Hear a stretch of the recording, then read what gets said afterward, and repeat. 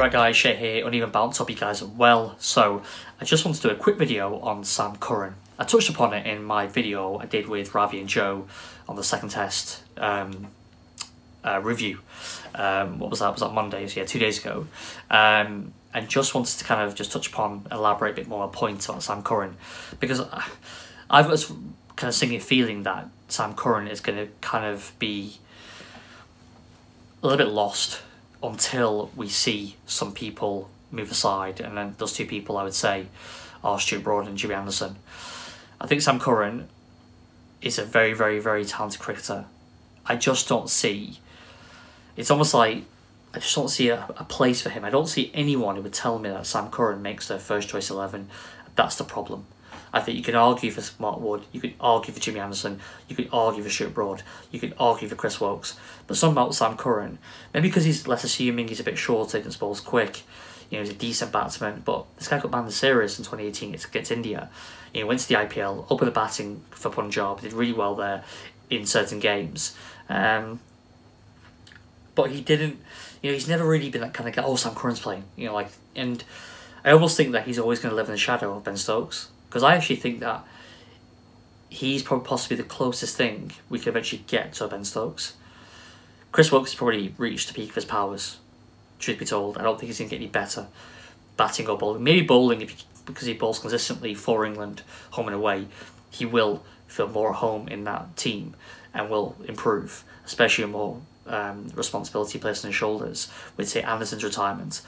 But Sam Curran's just turned 22 years old there's so much, you know, game time ahead of him, so much more of his career to be had. You know, he's got so much left to to, to give and to improve on. Um, I just wonder if he'll, his career will always be kind of in the shadow of Ben Stokes. I wonder. I wonder if he's gonna focus more on one facet of his game in order to make himself uh, a much more of a cert in the eleven you know, uh, more of a fixture in, in, the team. I don't know. I don't know. I, I just I just worry a little bit with Sam Curran. I keep I always feel like he's a bit of an afterthought, even though he's done so well for England at times. I mean, he's what I think he's won like seventy percent of his matches in England.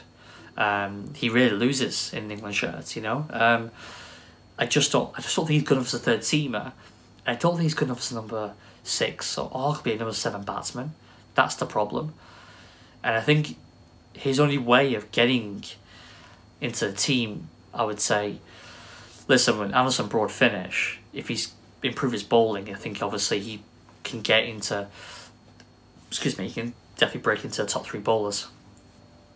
If his batting improves, he can bat top seven, potentially, you know. Um, but I just, I just don't see. Just he's a bit of a conundrum, Sam Curran, and I just, I don't know where he fits and I wondered to myself, where's Sam Curran going to be in three years' time? You know, I'd like to focus on red ball game, to be completely honest with you. But I don't know, I just don't know if he's going to fall to the wayside. Or will he always be that kind of spare guy that they'll turn to and expect a kind of 7 out of 10 performance, and that'll be it for him until all these guys move away. And that, but then Ben Stokes is going nowhere for a long time, let's be honest. Broad Anderson, yes, but can you ever see Sam Curran consistently opening the bowling for England? Even without Broad Anderson. I don't I don't know if you do. I don't know if you do. You know, so I just, I don't know. I just, it's a tricky one. I just thought I'd just do a quick video on it, basically. I, you know, really welcome your thoughts on this, guys. What do England do with Sam Curran? Where do you think his future lies? Where do you see him in three years' time? Guys, drop below. Let me know your thoughts. Um, yeah, so let me know your comments. Um, do you see a place from the team? Do you think he can kick on and be a rival to Ben Stokes? Um, can he play alongside him, or is he going to be the Stuart MacGill of England? You know, um, who obviously always kind of played in the shadows of uh, Shane Warne, didn't he? Really? So, yeah, um, yeah. Drop your thoughts below, guys. Let me know what you think. Uh, just a quick video on that. Yeah, um, just kind of irking me for a while, to be honest with you, after watching him in the second test, thinking, you know, what do England do with Sam Curran? Yeah, let me know. Um, guys, if you enjoyed the video, uh, please do like it, uh, share, comment as I mentioned before, and most of all subscribe, and I'll see you on the next one. Cheers.